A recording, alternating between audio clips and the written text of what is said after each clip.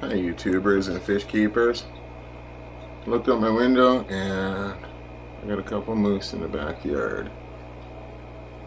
Yeah, I'm kind of wiggly. I'm standing on my... trying to get a shot out the window here.